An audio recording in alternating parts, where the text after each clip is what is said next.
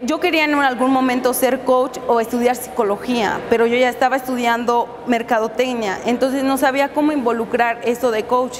Entonces esto me ayuda porque me acerco con las señoras, platico con ellas sobre su crecimiento personal, que ellas me, cuentan sobre las clases, pero principalmente ¿no? lo de mi carrera, que estoy en su acompañamiento y a mí me ha, sido de mucha experiencia para tanto mi currículum como mi experiencia personal de ser una, una mujer que ayuda a otras mujeres.